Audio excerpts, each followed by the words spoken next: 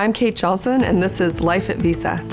I'm a firm believer that if you can really believe and see yourself living your goal and as a reality, you'll find your way into it. During my Olympic career, uh, you know, I had been kind of top of the pack for a long time. And then in the Olympic year, I broke my eighth rib for the eighth time.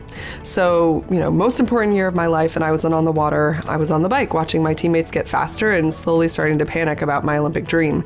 How I overcame the challenge is absolutely something that I go back to a lot um, throughout my career in terms of mental preparation. Every day I just woke up with this mantra kind of plastered on the wall in front of me, and it said, I am in the 2004 Olympic Women's Eight. And, you know, slowly but surely over time, my performances started to improve as I got back on the water and I made the team.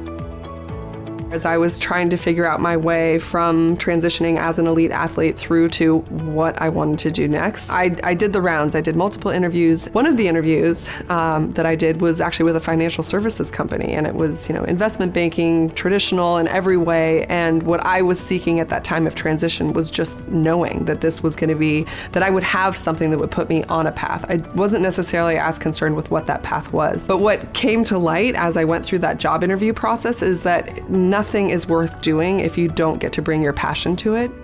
I got to the final interviewer who just asked me, Why do you want to get involved in investment banking? And I did not have a passionate answer for it. She, you know, she told me, I, I am certain that the rest of the folks that interviewed you are going to want to offer this job to you, but I don't think I'd be doing you a service in your passion to let you take it.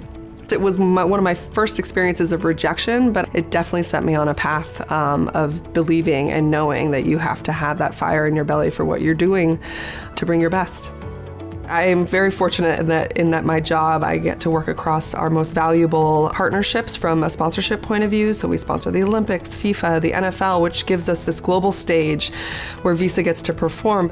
Having been an Olympic athlete, passionate about the Olympic movement, but then also passionate about the power of these platforms to deliver the Visa message and the value of Visa to our issuers, to our merchants, and our partners.